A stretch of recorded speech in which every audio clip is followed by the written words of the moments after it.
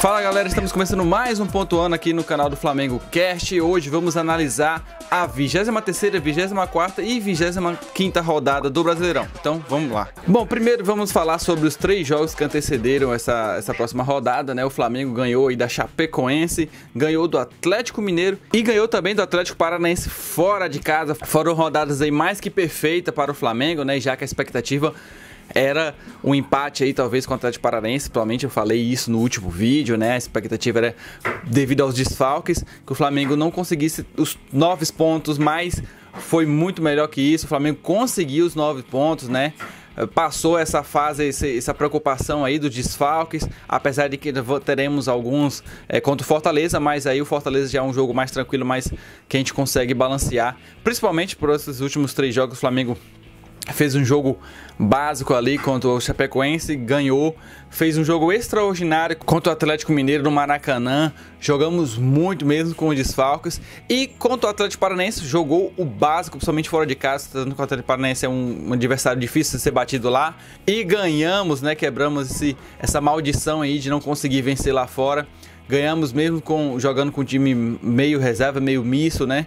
O Flamengo fez o básico, esses nove pontos eram muito importantes para a sequência da temporada, principalmente para distanciar que agora estamos a oito pontos em relação ao segundo colocado, que é o Palmeiras. O Palmeiras agora está com 50 e o Santos terceiro com 48. O Flamengo então conseguiu uma bela distância aí para a sequência do campeonato, principalmente porque os próximos adversários do Flamengo não são adversários tão difíceis, são adversários que o Flamengo pode levar três pontos aí, chegar a nove pontos daqui a três rodadas facilmente. Bom, o destaque para essas últimas três rodadas, né, foi o jogo entre Palmeiras e Santos, como eu comentei, era importante que eles estivessem na briga, e o Palmeiras, apesar de ter perdido o jogo para o Santos, acabou conseguindo passar o Santos em pontuação, né, e agora está em segundo colocado. O Santos que venceu o Palmeiras, né, muito tranquilamente, né, foi um jogo que o Santos teve um nível muito mais alto do que é, o Palmeiras acabou vencer naquele jogo. E o Santos acabou empatando contra o Internacional, né, fora de casa,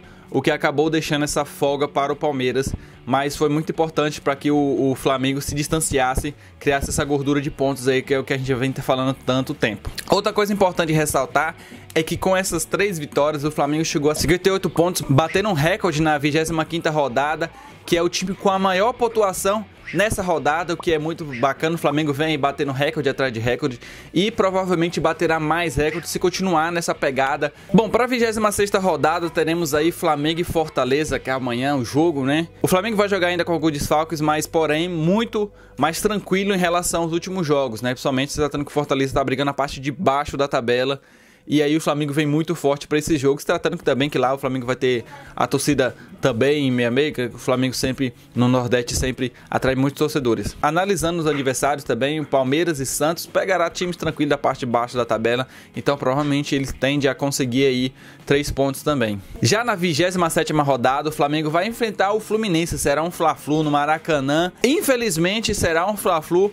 precedente a um jogo da semifinal da Libertadores, então provavelmente eu creio que o Flamengo vai com um pezinho um pouco no freio, principalmente com medo de lesões, né, que temos tido bastante nos últimos jogos. Então eu creio que o Flamengo não vai com força máxima contra o Fluminense, o que eu tava esperando muito, porque, né, Flamengo para amassar o Fluminense e deixar ele lá de baixo quietinho onde ele tem estado desde o começo do campeonato. O Santos pega o Galo fora de casa, então aí vai ser um, um jogo aí provavelmente para um empate. O Santos, apesar de ter tido uma crescida, né?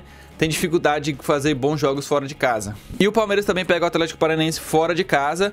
Então aí a gente né, pode esperar aí uma vitória até do Palmeiras mesmo, já se tratando que o Atlético Paranaense é, não, tem, não tem feito grandes exibições é, nos últimos jogos. Para a 28ª rodada, o Flamengo vai enfrentar o CSA dentro de casa, provavelmente um jogo super tranquilo, o Flamengo meter uma goleada aí e garantir saldo de gol, distância de ponto e escambar as quatro aí pra gente. E o Palmeiras vai enfrentar o Havaí, que é um jogo super tranquilo para eles. Vai ser fora de casa, mas ainda assim se torna um jogo tranquilo para o Palmeiras. E com três vitórias nas próximas rodadas, o Flamengo pode chegar a 67 pontos na 28ª rodada e igualar o número de pontos que o Flamengo foi campeão em 2009. Hoje o Flamengo tem seis vitórias a menos do que o time que fez mais vitórias dos últimos anos nos pontos corridos, o que é muito interessante, ou seja, o Flamengo está apenas seis vitórias de se tornar um potencial campeão, né?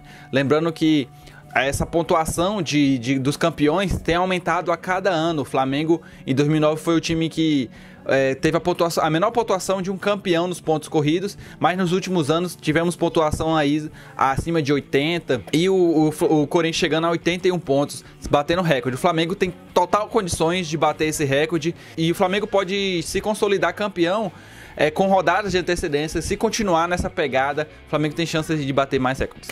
Para ter uma noção, a média de pontos de, dos campeões dos últimos 10 anos é de 75,5%, ou seja, estamos a poucos pontos de chegar na média de campeões. Lembrando que ainda estamos na 28ª rodada. Tem muita coisa pela frente aí do Flamengo, tem muitos pontos para disputar. Então é isso, galera, nós ficamos por aqui. Esperamos que o Flamengo consiga essas próximas vitórias nas próximas três rodadas. São jogos tecnicamente fáceis o Flamengo vencer e chegar aí também essas seis vitórias que o Flamengo mais ou menos precisa para se consolidar campeão. O Flamengo tem total chances de acordo com o campeonato vem vem se é, desenrolando, o Flamengo provavelmente poderá ser campeão com rodadas de antecedência. Não se esqueça que amanhã tem podcast lá no flamengocast.com.br. Você pode nos procurar em todos os agregadores de podcast conhecidos na internet. Não se esqueça de se inscrever no canal, curtir o vídeo, dar aquele joinha. Você também pode comentar, falar sua opinião aqui nos comentários. Então é isso, nos vemos daqui a três rodadas. É nóis.